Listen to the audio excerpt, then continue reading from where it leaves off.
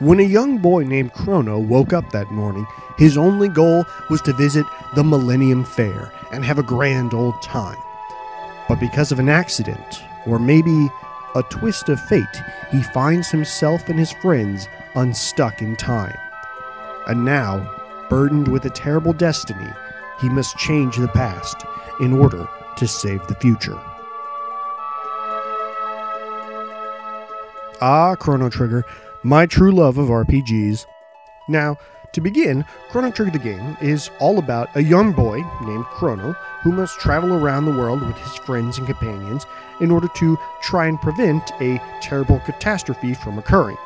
The gameplay is mostly standard RPG fundamentals. You will find yourself exploring various environments, doing battle with the monsters and beasts that lurk within, and gaining various treasures and equipments as you travel. As you progress, your characters level up, learn new skills and abilities, and you'll occasionally acquire new party members as well. Now, a lot of this is pretty familiar stuff, but what sets Chrono Trigger apart is its damn near flawless execution. All the characters and environments are colorful and vibrant. When you get into a battle, it takes place directly on the screen you're exploring. There's no transitioning to a new screen. When you do get into a fight, battles take place in an active turn system, which was so popular amongst its contemporaries. And in addition to the regular attack, magical attack, and item abilities, you also have special attacks called dual techniques. And these dual techniques allow two characters to combine their attacks into a more explosive super attack. This helps give the battles some strategy, some risk and reward, since it matters who you bring along with you, as different dual attacks open up depending upon what characters are in your party. On top of that, almost all the battles are unique, with each enemy having its own special talents and strengths and weaknesses.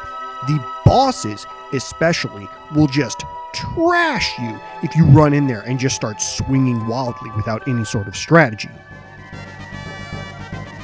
Now, to complement the core gameplay, the aesthetics are also really well executed.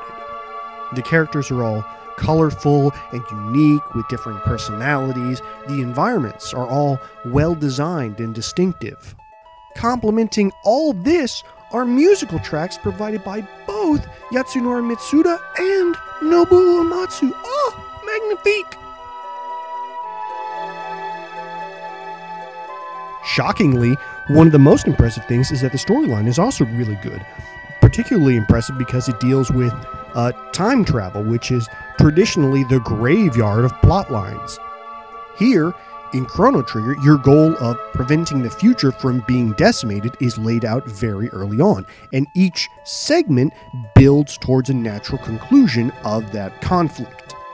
Plus, when they do use time travel, they use it to great effect. Early on, you find yourself traveling into the future and fighting robots. Then later on, you travel into the past and fight dinosaurs. It's glorious. You know, by this point, I don't even need to give this game a score.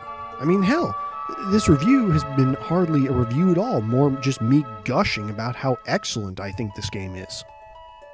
And it really is excellent. This is one of the highest recommendations I could ever possibly make. If you like RPGs, or if you like classic games, or if you just like fun, imaginative stories, then believe me when I say that the best RPG of the Super Nintendo generation was, perhaps poetically, the last one released. You should play it, not because I love it, but because I'm confident that you will too. Well, thanks for listening.